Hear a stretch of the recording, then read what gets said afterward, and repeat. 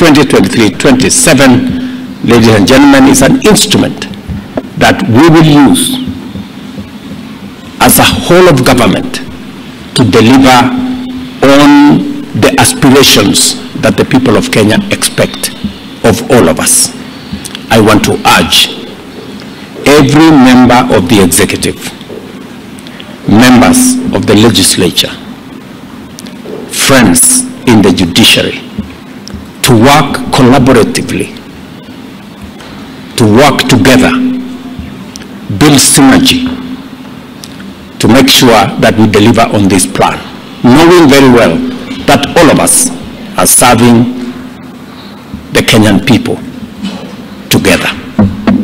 The fourth medium-term plan, therefore, ladies and gentlemen, 2023-2027, is now officially launched.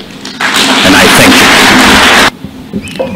I am very clear in my mind that we have what it takes to take Kenya to the next level. We have the requisite resources, if properly applied, if properly used with integrity, to move our country to the next level. What we witness every time, in some instances, corruption is budgeted into our budget cycle.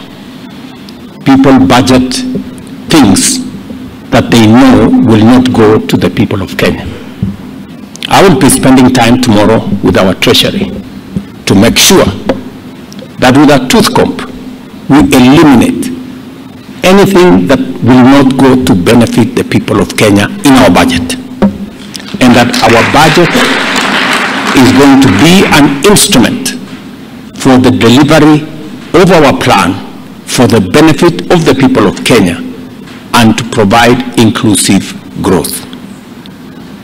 The tragedy that we have is that even those who go and challenge government policy in our courts, you cannot believe it, that after they have obtained stays and they have obtained injunctions against government policy, whether it is housing, whether it is our uh, universal health coverage plan, they have the audacity, they have the temerity to come and look for government officials and tell them, if you talk to us nicely, we are going to remove the injunction.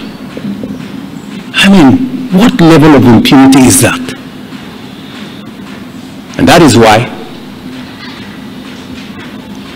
it is our commitment that we need to enhance the office of the Attorney General,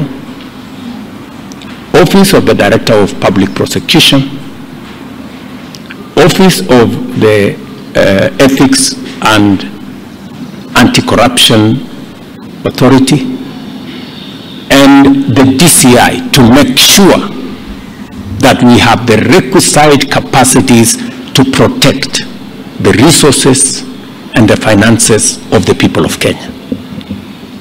It became imperative to ensure that the MTP4, together with the county integrated development plans, are aligned to the bottom-up economic transformation agenda objectives and priorities. Therefore, the fourth medium-term plan has translated the strategic objectives set out in our agenda into concrete programs and projects to be implemented in the plan period. Just to remind everybody here that the BETA plan, we not only have an agenda, but we also have a plan combined into one program.